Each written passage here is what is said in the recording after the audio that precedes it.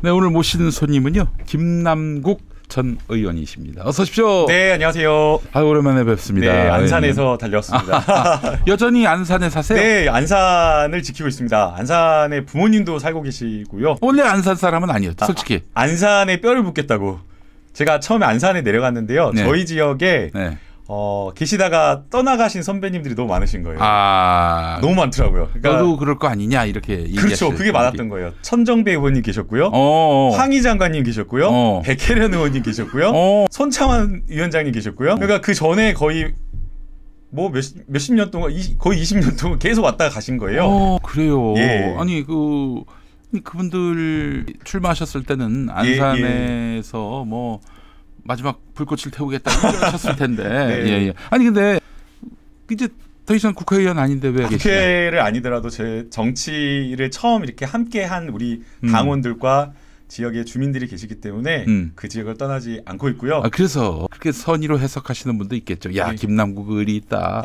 예. 한번 내뱉은 말에 대해서는 끝까지 책임지려 한다. 그런 생각을 해주시는 분도 있지만은 아, 네.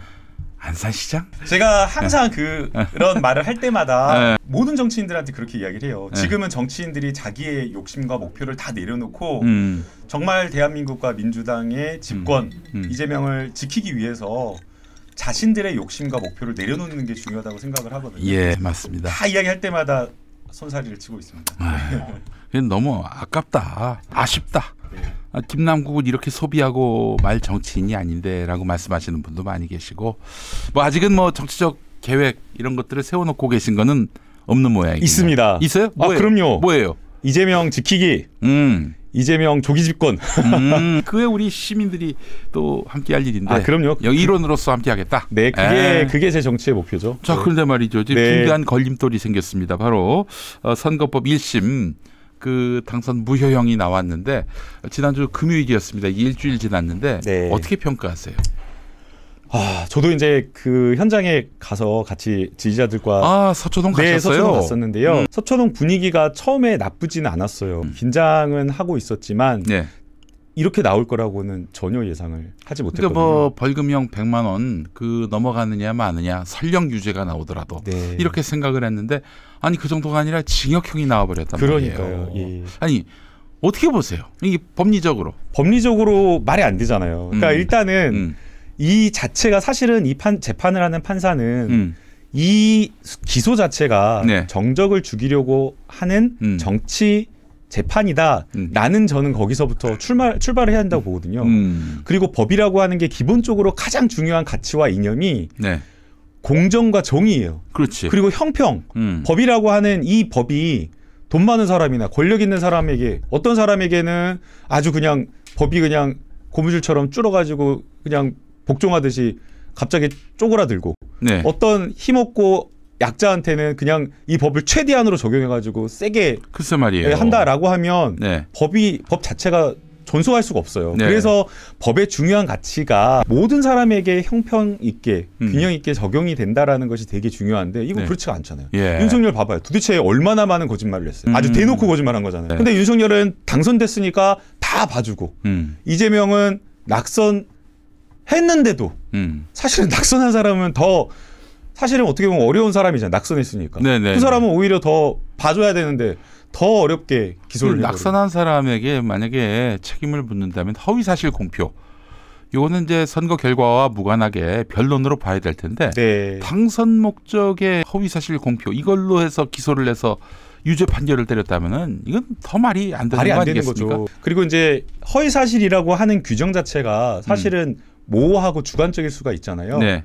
그래서 대법원 확립된 판례도 음. 이 허위 사실에 대한 판단을 함부로 확장하면 안 된다라는 게 확립된 판례입니다. 네. 해당 발언이 나왔던 문헌 그대로를 해석을 해줘야 되는데 음. 이 판사는 전체적인 인상을 살펴야 된다라고 하면서 이재명 대표가 하지도 않은 이야기를 했기 음. 때문에 유추 해석을 한 거죠. 유추 해석을 한 거죠. 전체적으로 그냥 이렇게 보니까 이렇게 해석된다라고 한 거예요. 예. 근데 이런 해석은 대법원 팔 대법원에서 하면 안 된다고 한 해석인데도 무리하게 한 거라서 음. 법리적으로 보더라도 음. 정무적 정치적으로도 헌법적인 어떤 관점에서 보더라도 좀 맞지는 않는 것 같습니다. 아 그래요.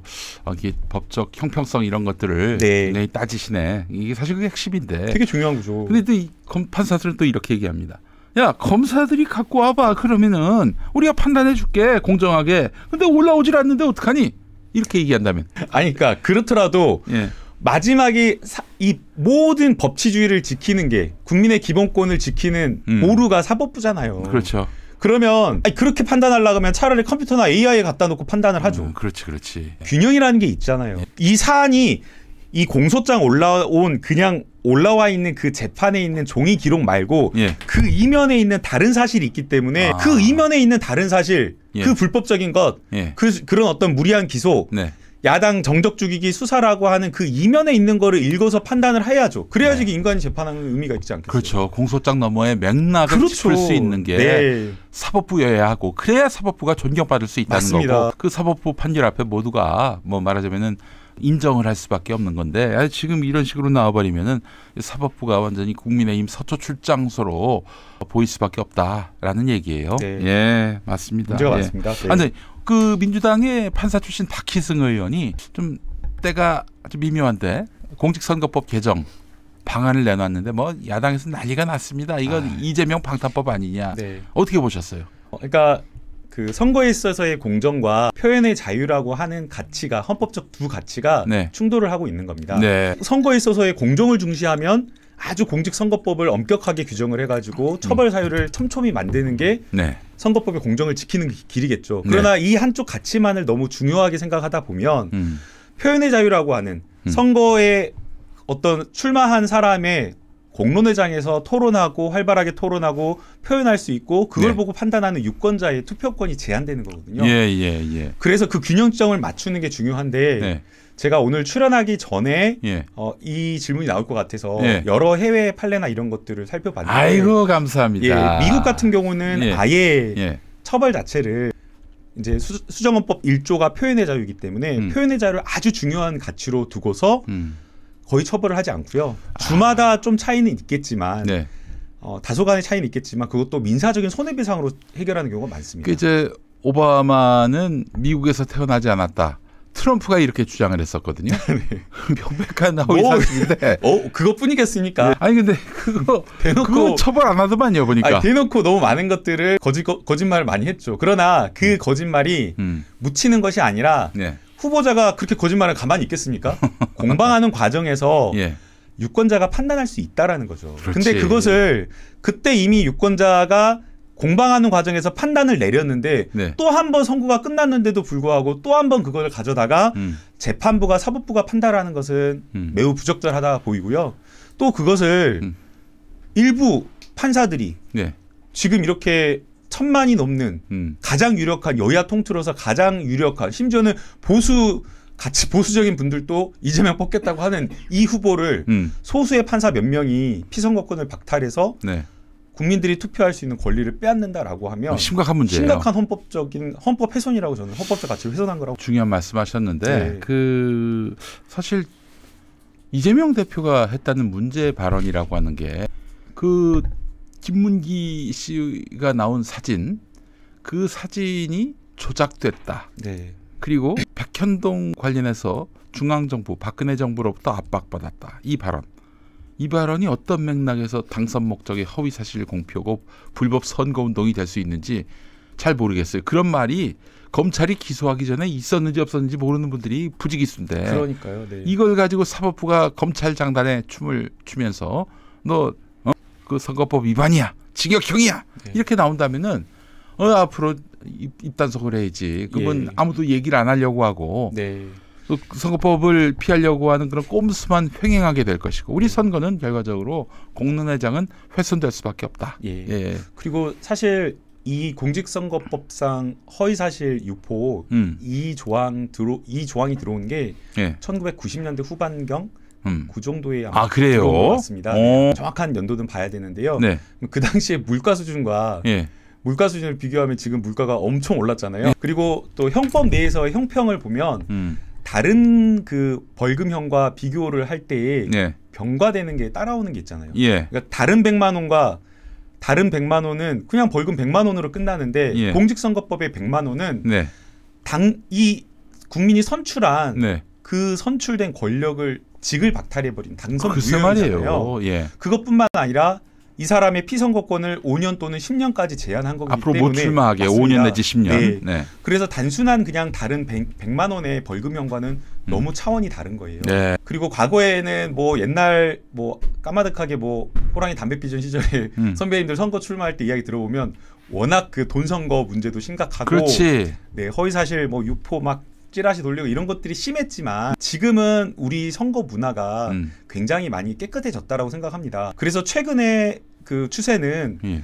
돈은 쥐이고 예. 그러니까 불법적인 돈 선거는 음. 철저하게 이거는 하면 안 되잖아요. 그래서 이 돈 선거는 돈은 쭈리 쭈이 쬐이고 음. 이분 푼다라고 해서 음. 이 기조에 따라서 검찰과 법원도 네. 공직선거법과 관련된 부분에 있어서는 네. 최대한 유연하게 그리고 여야 간의 음. 정치적인 균형을 맞춰서 재판하고 기소한다라는 게 원칙이거든요. 음. 근데 이번에 검찰도 그렇게 하지 않았고 무리한 정치 기소를 했고 그 다음에 법원은 이거에 대해서 통제하고 제약을 제동을 걸어줘야 되는데 거기에 장단 맞춰서 법원까지 함께 해버린 겁니다. 한성진 판사가 어떤 사람인지 점점 궁금해집니다. 뭐 지금 일각에서는 너무 재판 때 좀 불성실하다 이런 얘기도 나오고 있고요. 어.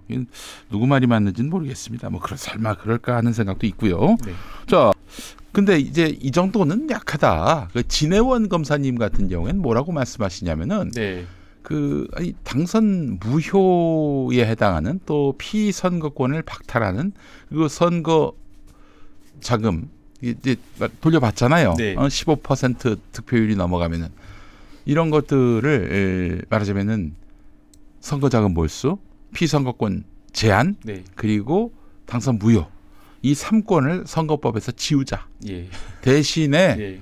그 어떤 형사법적 판단에 의해서 유죄 판결이 나오면은 그거를 공보에다 다 실어가지고 다음 선거 공보에 실어가지고 네. 유권자들이 이걸 보고 판단하게 하자. 네. 왜이 선거 영역, 국민들의 주권이 발동되는 이 영역에서 왜 그런 판사 검사 같은 관료들이 이 관료들이 나서서 어떤 정치인의 그런 정치 참여 권리를 제약하느냐? 아니 그 이전에 유권자들의 심판할 권리를 박탈하느냐? 왜 그 권리를 니들이 갖다 그렇죠. 멋대로 쓰느냐? 네. 이렇게 얘기하니 이, 이, 이 3권, 이 3권을 없애자 이렇게 주장하고 계세요. 어떻게 보십니까? 예. 헌법적인 관점에서 음, 왜 주권자의 행사 그리고 이미 행사된 주권이죠. 음, 이미 투표를 통해 가지고 행사된 주권을 사후적으로 음, 소수의 판사나 검사 음.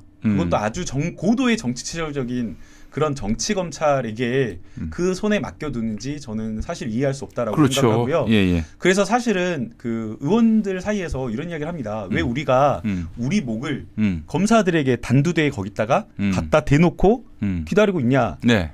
자조 섞인 이야기를 하거든요. 아. 근데 어느 누구도 적극적으로 나서서 이 문제를 해결하려고 하지 않았거든요. 네. 사실은 이제 그 판사님께서 네.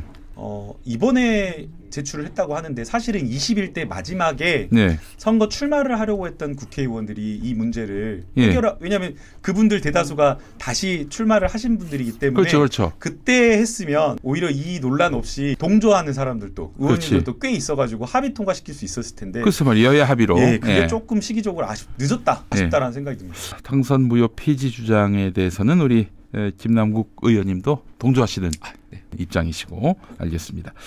자 월요일에 위증교사죄 그 재판이 있습니다. 28일 어떻게 전망하십니까? 법리로 보면은 법리로 보면 말이 안 되거든요. 아, 그 무죄가 나는 건데. 네, 무죄가 맞는데요. 네.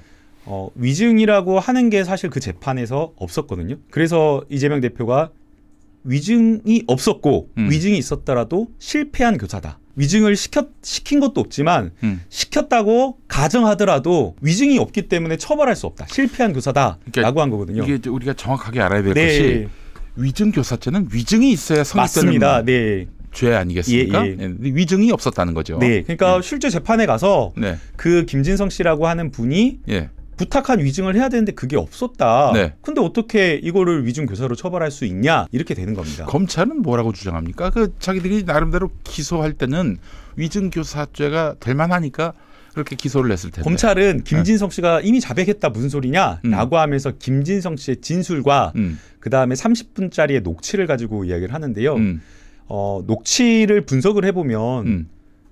수도 없이 음. 12번 이상, 13번 이상 음. 솔직하게 있는 그대로 말해 주면 된다라고 사실대로만. 사실대로만 말해 주면 된다라고 그러고요. 네. 오히려 또 거꾸로 김진성 씨가 이재명 대표가 잘못 기억하는 거를 음. 되짚어 줍니다. 음. 그러면 이제 아, 그 이재명 대표가 그건 내가 잘못 알고 있었거든. 이걸 다 알면서 그렇게 수긍하고 음. 이 수긍하고 김진성 씨가 잘못 알고 있는 것을 이야기해 준다라고 하는 것은 네. 김진성 씨 자유 의사에 따라서 김진성 씨가 기억하고 있는 거에 따라서 네. 자유롭게 소통하고 의사를 나누고 있었다는 걸로 확인할 수 있는 내용이잖아요. 음. 근데 그런 모든 것들을 다 무시하고 위증교사라고 그 녹취를 가지고 기소한다는 것 자체가 엉망진창인 거죠. 어떤 그, 예. 그, 그 자기 거짓말을 했어요. 그래서 소송에 걸렸어. 허위 사실 유포로.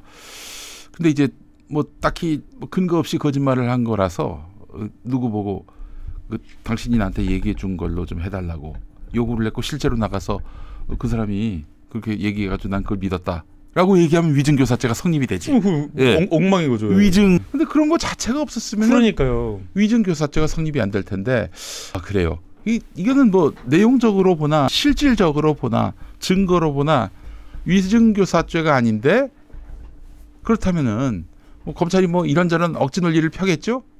이럴 때는 법에서 그런다면서요. 애매할 때는 피고인의 이익으로. 피고인의 이익으로. 예. 어 그러면 당연히 유죄가 나와야 무죄가 나와야 마땅한데. 근데 이놈의 재판부들은 음, 이 지금 요즘 사법부가 대부분 다 그렇습니다. 음. 이놈의 재판부들은 음. 애매하면 유죄 이렇게 가는 거예요. 그러니까 피고인이 기소 아. 한번 기소가 되면 예. 이거를 무죄를 받기가 너무 어려운 거예요. 힘든 거예요. 이 기가 막힌 현실인 거죠. 이게 저 이게 저 사법부가 좀 맹성할 부분이 있는 건데 네. 어떻게 저 정치적 맥락까지 다 고려했을 때 정치인 출신의 법조인 우리 김남국 변호사님 보시기에는 어떻게 보세요?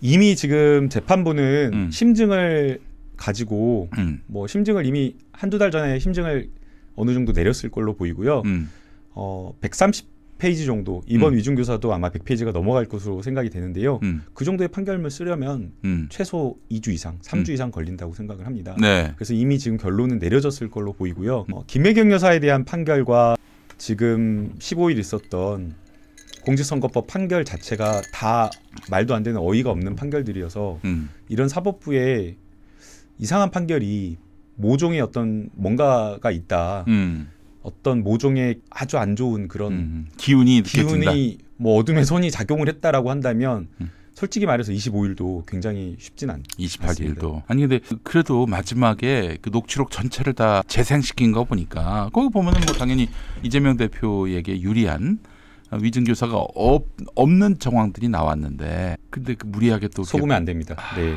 김용 전 대변인님의 네 일심 판사도 다 이렇게 뭔가 음, 마지막까지 아주 공정하게 마지막까지요. 네잘 그래서 들어주고 잘 들어주고 음. 어 마치 공정하게 이렇게 하는 것처럼 그래서 음. 어 이랬는데 완전히 그냥 피고인 측의 의견은 박살내버리고 검사가 쓴 마지막 의견서를 그냥 갖다가 음, 통째로 복부, 탈다라고 할 정도로 아이고. 그럴 정도로 했기 때문에 그렇게 뒤통수를 세게 맞는 맞은 경험이 있기 때문에 네 마지막에 녹취틀라고 했다고 쉽게 믿을 수는 없는 것 같습니다.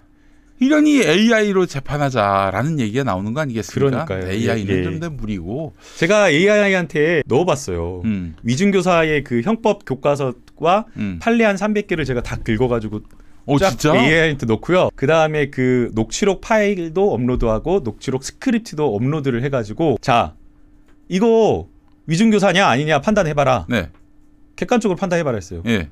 아니래요. 유죄가 아니다. 예. 무죄다. 무죄라고 딱딱 조목조목 다 짜, 찾더라고. 그래서 제가 검 이거는 질문에 따라서 달라질 수가 있으니까 음. 야 검사는 그렇게 아니라고 하더라. 검사는 음. 이 분, 이, 이 부분, 이 부분을 가지고 아니라고 하고 은근히 압력을 넣었다라고 이렇게 얘기를 한다. 음. 그렇게 해석할 수 있냐? 음. 그 논리에 입각해서 판단을 해봐라. 예.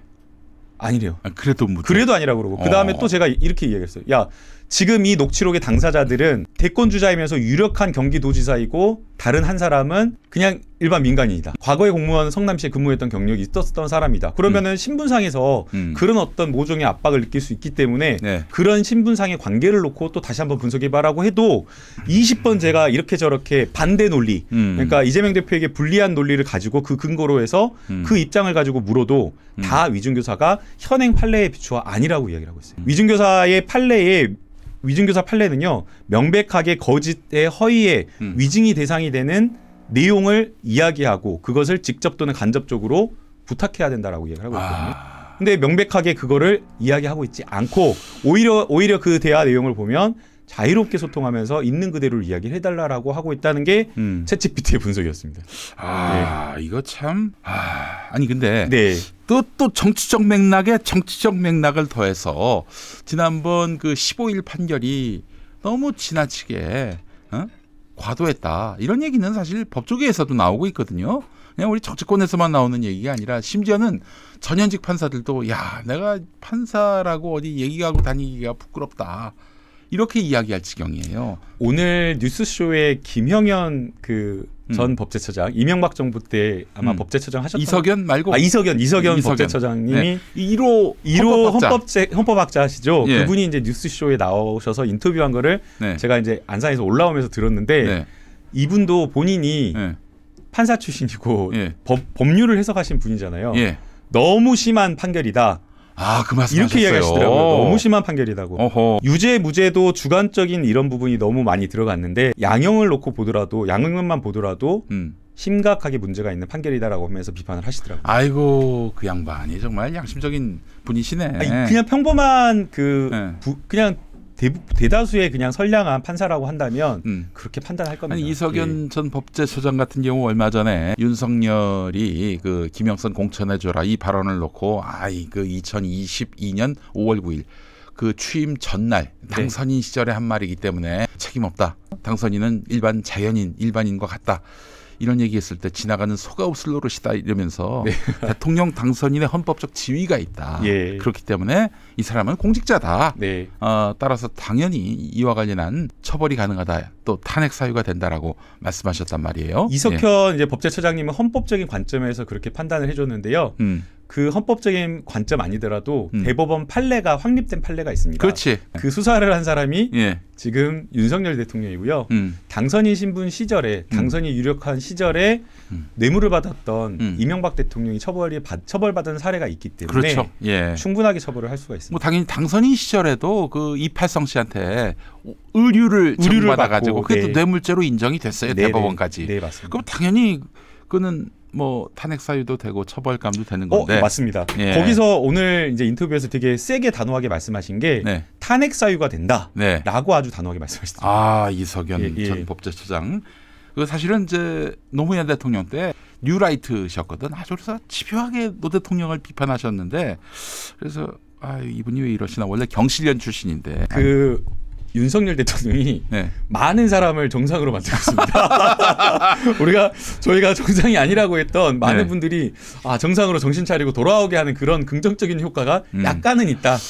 그런데 이제 사실은 위증교사죄 같은 경우에 김진성 씨 그 위증을 이제 김진성 씨한테 교사했다는 거 아니에요 지금 검찰의 그 기소 논리가 아, 그런데 김진성 씨는 원래 위증 없었다라고 얘기를 했었는데 맞습니다. 검찰이 구속영장을 청구했어요. 물론 기각이 됐습니다만은 그 이후에 위증이 있었다로 진술이 바뀐 거죠. 진술이 바뀌었는데 네. 아니 이거는 법원에서 판단 안 합니까? 변호인 아니, 예 변호인도 그 부분을 아마 김진성 씨가 사실 진술이 바뀐 부분에 대한 예, 동기 예, 그 다음에 신빙성이 있는지 여부에 대해서 아마 네. 집요하게 변론을 했던 것으로 알고 있고요. 예, 제가 변호사라고 하더라도 음. 그 부분에 대한 음. 의구심을 가지고 음. 굉장히 강하게 주장을 했을 것 같습니다. 아니 그 압박을 받으면은 야 네. 검찰이 우리 사업체를 털면은 난 답이 없지. 예?